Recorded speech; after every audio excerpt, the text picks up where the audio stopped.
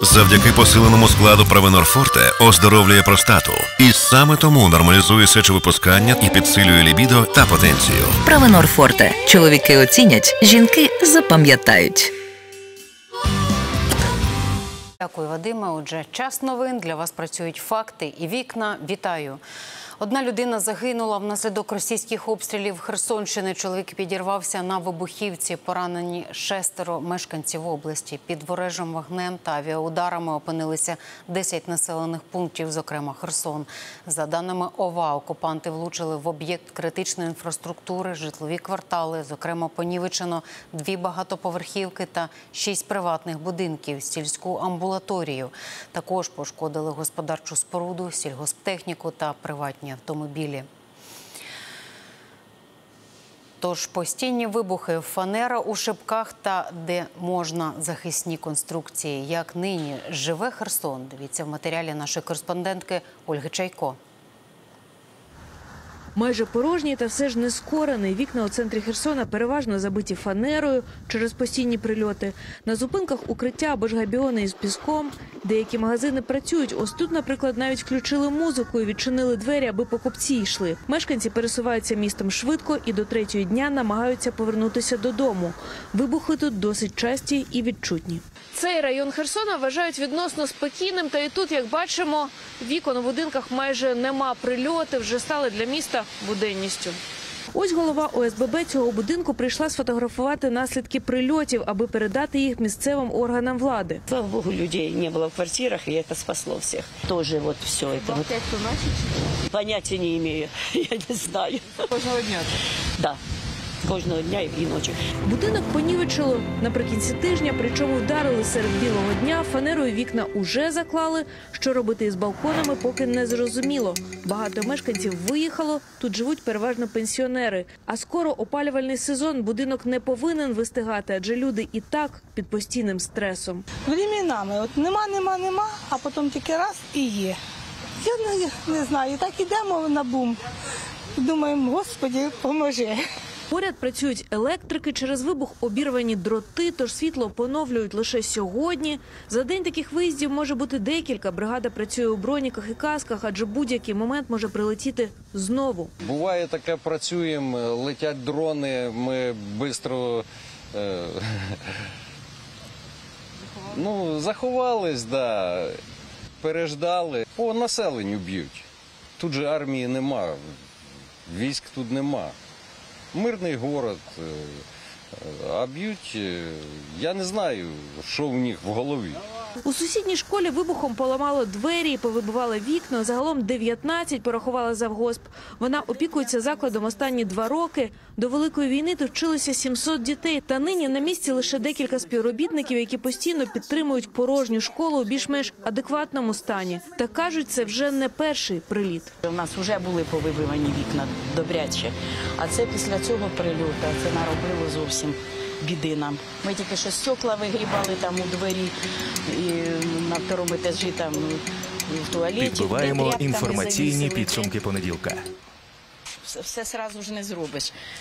Стараємося, звісно, ждемо, може ж ті матеріали якісь дадуть нам. Дітям, поки така ситуація у місті, сидіти за партами не можна, а дорослі вже звикли жити під вибухами, чекати на перемогу. Із Херсона Ольга Чайко, Володимир Коваленко та Захар Комах. Факти ICTV. Єдині новини. Головним ударом дронами цієї ночі росіяни обрали Київщину. Уламки шахеда поранили жінку. Вона в лікарні. Шахеди не долітіли до своїх цілей, але їхні залишки пошкодили п'ять приватних будинків та п'ять автомобілів. Рятувальники гасили траву в полях. Загалом же ворог випустив по всій країні 56 шахедів. Повітряні сили збили 53. Ще три локаційно втрачено.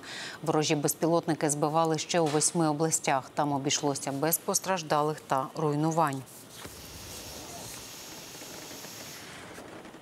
Загалом за першу половину вересня по мирних містах росіяни вже випустили понад 640 шахедів, заявив президент Зеленський. Більшість дронів нашим силам протиповітряної оборони вдалося збити і щодня докладають зусиль, аби створити ефективний український повітряний щит.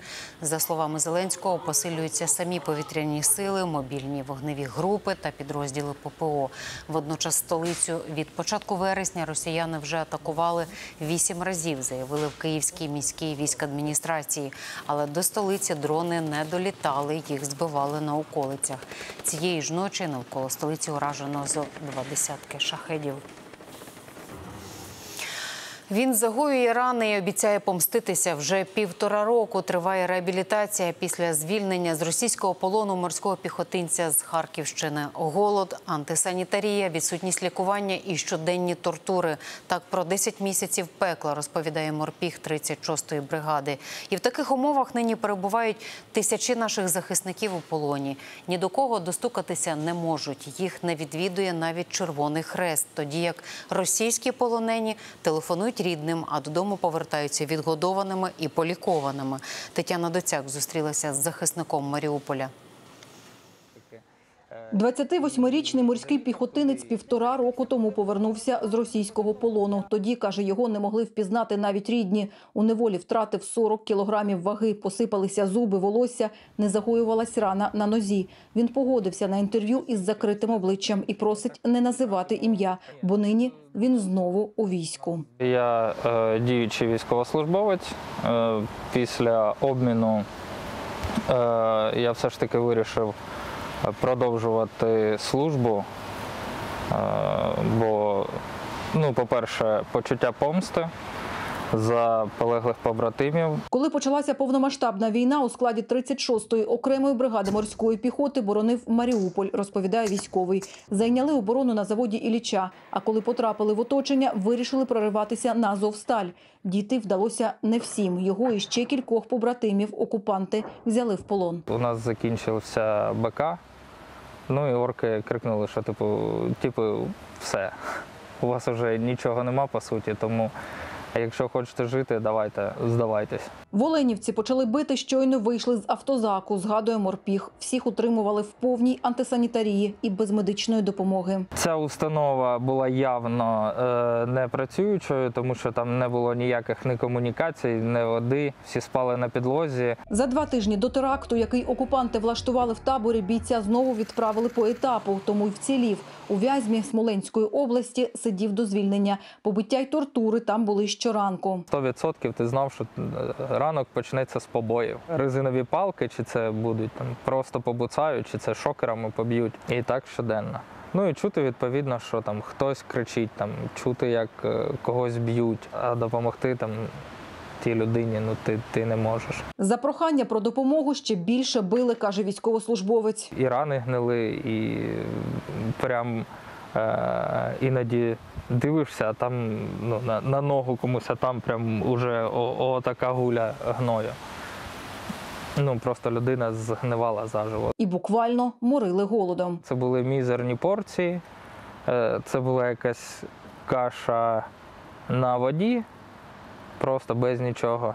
Е, Один шматок хліба і там ну, трохи чаю. Мене коли побачили там знайомі після обміну, ну вони, вони сумнівалися, що це я. Лише через півтора року після полону йому вдалося набрати вагу, почав займатися спортом, повернутися до життя допоміг психолог. Однак колишній бранець і досі лікує ногу. Якби тоді, коли потрапив у полон, вчасно надали допомогу, таких проблем би не було, запевняє чоловік. Мені вже після обміну в Полтаві зробили операцію, е, зшили нерв, трохи відновили ногу. От, е, на даний момент е, ну, можу більш-менш нормально ходити, але у мене не тримається стопа. Інша справа росіяни. Дехто навіть не хоче повертатися в Росію. У полоні триразове харчування, гаряча вода й унітази. Кожного дня їм прогулка, харчування трьохразове є. Забезпечили одягом, е, стираються на бані. А ще медична допомога. Фьодора Смакіла взяли в полон у Курській області. Був поранений. Переконує, що сам себе підірвав від страху перед полоном. Та перші, хто йому допоміг, каже, були українські військові. Я могу сказать вам только спасибо и все. За то, что спасли мою жизнь, вылечили и даете шанс встать на ноги, и после чего я смогу благодаря вам вернуться к себе в страну. І це в той час, коли українських захисників Росія повертає додому скаліченими, хворими і навіть мертвими. Обурений морпіг. Світ має примусити Путіна дотримуватися Женевських конвенцій. Напевно, це мене бісить. Наші хлопці приїжджають худі, напівпрозорі, якісь, ну я не знаю, не, незрозумілі. Ну вони не схожі на себе, вони навіть на людей не сильно схожі вже. Е, і повертають росіян, на яких уже там, я не знаю, форма не налазить. Його відкормили, йому давали телефонувати додому. Одна надія їх швидше обміняють на українців і додому, як і він, повернуться його побратими, каже морпіг. Ми зрозуміли, що нас обміняли, коли двері автобуса відчинились і сказали: хлопці, зніміть з себе ці мішки, ви вдома, слава Україні. Одна із найщасливіших митей, яка могла бути. Тетяна Доцяк, Олександр Миронюк. Факти ICTV. Єдині новини. Україна має значний промисловий потенціал, однак потребує інвестицій. Про це заявив міністр оборони України Рустам Омєров на щорічній зустрічі Ялтинської європейської стратегії. Він закликав іноземних партнерів інвестувати в оборонку України, адже зброя українського виробництва вже показала свою ефективність на фронті. Водночас на полях форуму звучало західні партнери та їхні вливання корисні Україні не лише у ВПК. Деякі багаторічні іноземні партнери в Україні відчувають поліпшення бізнес-клімату. Тож через війну наш ринок не покинули, але перемістили виробництво в безпечніші регіони. Війна стала стримуючим фактором для багатьох іноземних бізнесменів. Та Україна намагається створити якісні умови для міжнародних інвесторів. It's obviously not easy to invest in. Зараз нелегко інвестувати в Україну. Одномоментно таке рішення не приймеш, якщо компанія багатонаціональна. Вона ретельно зважує ризики, чи інвестувати в країну під час війни. Однак ваше інвестиційне середовище покращилося. Ваші політики систематично розглядають певні закони, які нам покращують умови інвестування. Особливо за останні 12 місяців. У нас був дуже широкий діалог з державними інституціями. І ось такі зустрічі, як ЄС, нагода для посилення діалогу. Українців сьогодні знову попередили про зміни руху потягів до країн Європи, яка потерпає від потужної повені. Зокрема, за даними Укрзалізниці, зміни стосуються рейсів, пов'язаних із Віднем та Прагою. Потяги з України до Варшави і низки інших польських міст, а також Будапешта, курсують без змін. Тим часом рятувальні служби європейських країн працюють у посиленому режимі. Україна також відряджає їм на допомогу своїх рятувальників. У Польщі ситуація настільки серйозна, що сьогодні в країні оголосили надзвичайний стан. Непрості дні настали для рятувальників країн Східної та Центральної Європи. Спецмашинами, надувними човнами і навіть гелікоптерами вони поспішно вивозять людей з небезпечних, затоплених потужною повінню населених пунктів. Не залишають на призволяще і хатніх улюбленців. Зараз ми вивозимо тих людей, які не встигли чи відмовилися виїхати під час евакуації, оголошеної до приходу великої води. Останніми днями щонайменше 17 людей стали жертвами повені, що виникла після потужних злив в Румунії, Польщі, Австрії та Чехії. Ще кілька вважаються зниклими безвісти. Стихія затопила цілі населені пункти, а також поруйнувала мости. У Польщі та Австрії вода прорвала дамби. Евакуювали вже тисячі мешканців. Їх розміщують у тимчасових притулках. На допомогу рятувальникам відрядили пожежників та вояків. Вони допомагають захистити помешкання від руйнування водою та зміцнити набережні та дамби, що поки стоять. Ми стежимо за тим, щоб не прорвало дамбу. На допомогу нам прийшла австрійська армія. Зокрема, їхній гелікоптер Hawk перевозить на дамбу великі мішки з гравієм. Їх встановлюють там, щоб зміцнити конструкцію. Стихія також перервала не одне сполучення між містами та селами. Вода поруйнувала автошляхи, місцями затопила чи пошкодила рейки залізниці. Часом потік був настільки сильним, що позмивав автівки. Вулиці населених пунктів вкрило шаром бруду. Місцеві, не чекаючи на комунальні служби, почали самотужки ліквідовувати наслідки стихії. Вода неслася просто тут. До нашого будинку нанесло бруду. Втім, могло бути й гірше. Та однаково це катастрофа. Я маю на увазі повінь це справжній жах. В Угорщині та Німеччині поки ситуація відносно спокійна, але влада попереджає, що вона може різко і суттєво погіршитися. Нагадаю, попри війну Україна відрядить своїх рятувальників на допомогу шістьом західним партнерам: Молдові, Польщі, Румунії, Словаччині, Угорщині та Чехії. Оксана Лотоцька, факти ICTV. Єдині новини. Поки Європу заливає, в Україні вирують пожежі. На Полтавщині ще вчора зайнявся ліс. Вогонь охопив близько 680 гектарів малощепинського лісництва. Про це повідомляють у військовій адміністрації. Довелося евакуювати 13 мешканців із двох сіл Новостанжарської громади та 57 пасажирів електропоїзда Полтава-Кобиляки. Унаслідок пожежі є пошкоджені приватні будинки і споруди. Вогнеборці досі ліквідують займання сухої рослинності та підстилки. На допомогу прибули пожежники з Черкаської та Вінницької областей. Загалом задіяно понад 400 рятувальників. Від учора і рятувальники Черкащини приборкують вогонь. Горіло 20 гектарів сухостою і самого лісу. Нині пожежу локалізовано через сильні пориви вітру. Стихія дісталася і людських садиб.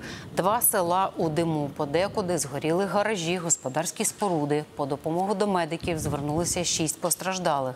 Все через недбалість самих селян, кажуть фахівці. Вчора працювало півсотні рятувальників, місцева пожежна команда та лісівники. Допомагали і місцеві жителі. Відрами носили воду. Зараз ліквідація все ще триває, хоча відкритого вогню вже нема. Рятувальники працюють, а влада підраховує збитки. Причина пожежі власне це необережне поводження із вогнем селян. Е, Тому ми вкотре закликаємо у суху вітряну погоду не розводити е, багаття, не залишати вогонь без нагляду, тому що, на жаль, він може призвести до таких наслідків. Служба безпеки України затримала 16-річних хлопців за підпал автівок військових. За версією слідства їх курувала російська розвідка. Злодії вистежували позашляховики ЗСУ. Спочатку знаходили цілі та погоджували зі своїми російськими кураторами. Потім підпалювали та фільмували для звітності. Щоправда, жоден з них не дочекався обіцяних грошей від росіян.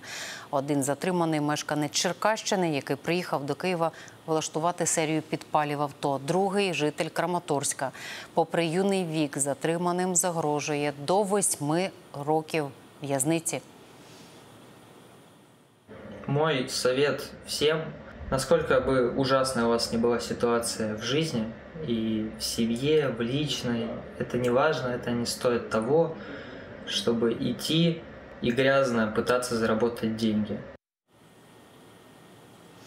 На цьому поки все. Далі о 20-й підсумковий випуск із Оленою Фроляк. Бережімо своїх і побачимось.